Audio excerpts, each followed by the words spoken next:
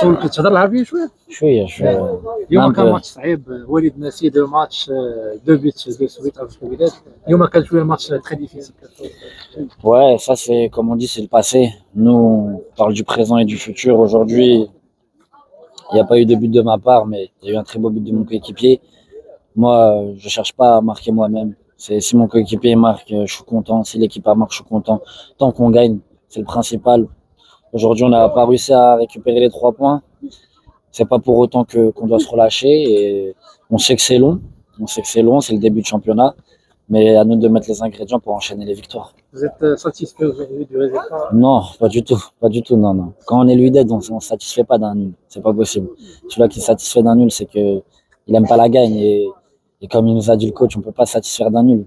Nous les premiers, on est on n'est pas content du nul. C'est pas possible, c'est les trois points rien. Quand tu joues au d'aide, il faut penser comme ça. Il nous l'a dit encore. Il faut penser comme ça. C'est les trois points ou rien.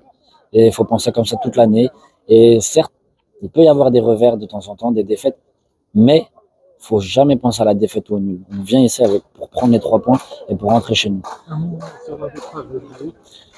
Comme je l'ai dit, au bout d'un moment, voilà, on a juste à regarder la télé, les images et on n'a même pas besoin de parler nous-mêmes. L'arbitrage, il est pas, il il il pas correct aujourd'hui. Encore une fois, penalty. Je dirais pas s'il y a ou pas penalty, mais moment, il faut siffler des deux côtés, vous voyez. Et là, ça fait beaucoup. Ça fait beaucoup. Maintenant, comme je l'ai dit, euh, moi, j'ai mon métier. Il a son métier. À lui de voir s'il a fait des erreurs et de s'améliorer pour, même pour le futur du, du Maroc et même nous à nous améliorer pour le futur du Maroc, vous voyez. Maintenant, moi, je vais, je vais pas juger, je juge pas les gens. J'espère que ils se remettront en question, comme nous aujourd'hui, on doit se, se remettre en question sur le match. L'absence des des matchs. Comme je l'ai dit, je comprends pas euh, pourquoi il y a des matchs à huis clos, surtout quand on a les meilleurs supporters du monde.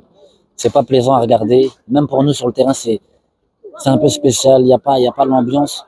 Euh, aujourd'hui, je comprends pas pourquoi encore ça à huis clos.